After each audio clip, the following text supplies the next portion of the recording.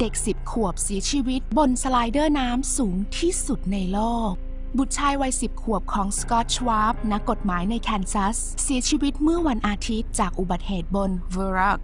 slider น้ำสูง 17 ชั้น ซึ่งถือว่าสูงที่สุดในโลกแพบน slider สามารถบรรทุกผู้เล่นได้ 3 ราย ทุกคนจะต้องรัดเข็มขัดนิรภัย น้ำหนักรวมของผู้เล่นจะต้องอยู่ระหว่าง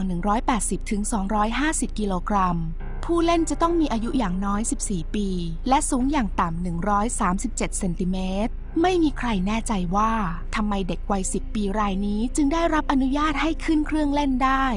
นอกจากนี้ด้านบนของสไลเดอร์ยังมีตะข่ายขึงไว้เพื่อรักษาความปลอดภัยผู้เล่นจะเคลื่อนที่ด้วยความเร็วราว 113 กิโลเมตรต่อชั่วโมง ในช่วงเวลาราว 15-20 วินาทีจนถึงปลายทาง ขณะนี้เจ้าหน้าที่ที่กำลังทำการสืบสวนหาสาเหตุ ยังไม่ได้เปิดเผยรายละเอียดของอุบัติเหตุในครั้งนี้ คุณคิดว่าอะไรคือสาเหตุที่เด็กคนนี้เสียชีวิต อย่าลืมฝากคอมเมนต์นะ